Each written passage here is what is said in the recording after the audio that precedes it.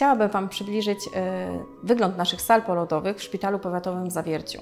Na pewno wielkim atutem naszych sal porodowych jest to, że są one niewielkie, co wprowadza intymną atmosferę. Dzięki przygaszonym światłom każda pacjentka czuje się bezpiecznie, a to w porodzie jest bardzo ważne. Każda z sal posiada nowoczesne łóżko, które pozwala nam na przyjmowanie dogodnych pozycji na każdym etapie porodu. Możemy rodzić zarówno w pozycji e, półleżącej, możemy rodzić w pozycjach kolankowo-łokciowych, w pozycjach kłócących.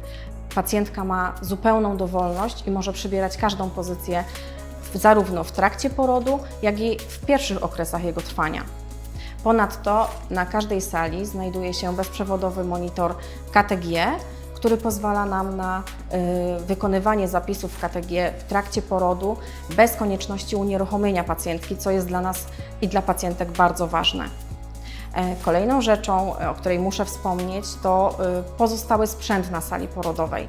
Są to zarówno piłki, worki sako, y, krzesełka porodowe, na których również pacjentki mogą rodzić w pozycjach siedzących, gdzie mm, zdecydowanie pomaga nam siła grawitacji.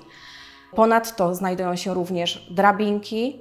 Każda sala wyposażona jest też y, w chustę porodową, którą my jako położne bardzo lubimy, ze względu na to, że pomaga ona nam zarówno w masażu, y, w rozluźnianiu mięśni dna miednicy, w rozluźnianiu powięzi, Ponadto e, dzięki huście e, i jej zastosowaniu e, jesteśmy w stanie pozycjonować dziecko w kanał rodny. Możemy próbować zmienić tę pozycję, jeśli jest ona nieodpowiednia. To pomaga również w samym parciu, w momencie rodzenia się dzieciątka. Na każdej sali znajduje się prywatna łazienka, z której każda z Was może sobie spędzać czas nieograniczenie, a czasem potrzebujecie go dużo. W związku z czym jest zupełnie prywatna i do Waszej dyspozycji. Wspomnę również o wannie porodowej, która jest wisienką na torcie naszego oddziału.